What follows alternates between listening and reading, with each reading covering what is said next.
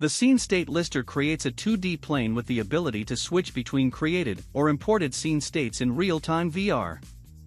This method cuts the time required for attaching certain buttons to applying scene states. Notice here that we have imported a SketchUp file with saved states in it, these scene states can be read by the composer. You can see them here in the Scene States tab. Now to create the Scene State Lister. Go to the VR Effects menu and click on Create Scene State Lister. You can see it created on the Scene browser. Now press N, then click with the left mouse button on the plane next to the wall section model. Make sure to face it in the right direction.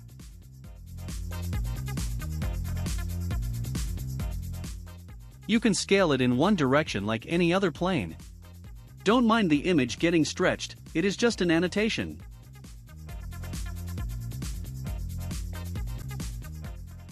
Give it a title to appear at the top. You can also change the coloring and the amount of states to appear per page. Since we have 9 states here, and we want them to appear all on one page, let's set it to 9. When finished, run it in the VR viewer and click on the list items to jump from one state to another.